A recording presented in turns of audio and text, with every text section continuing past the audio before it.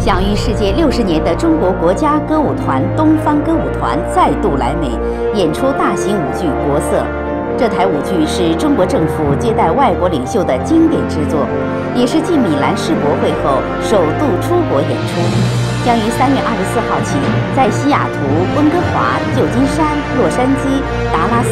休斯顿华府纽约盛大演出。请不要错过这场国家级的舞蹈盛宴。